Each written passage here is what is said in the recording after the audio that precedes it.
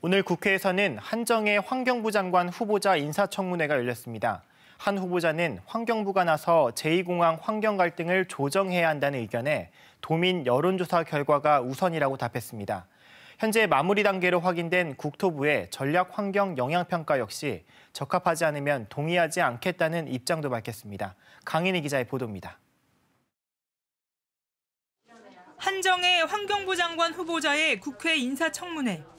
한 후보자는 부산 가덕도 신공항 건설 방안에 대해선 물류 비용 절감과 균형 발전을 위해 필요한 사업이라고 답했습니다. 제주 제2공항에 대해선 전반적으로 원론적이면서 신중한 입장을 밝혔습니다.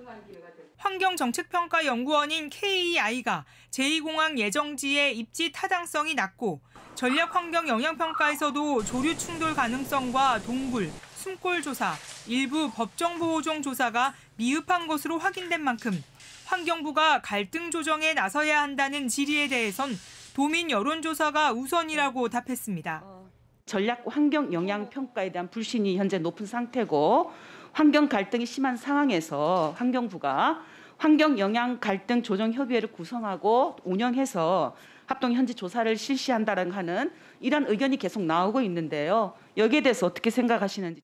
제주도는 지금 현재 아, 도민들의 여론조사를 통해서 이것을 진짜 해야 할지 말아야 할지를 좀 판단을 해야 되겠다라고 하는 그 위치에 서 있는 맞습니다. 상태입니다. 네. 그래서 저희는 그 상황을 좀 지켜보고 어, 지켜본 다음에 제주도의 결정을 일단 봐야 되지 않나.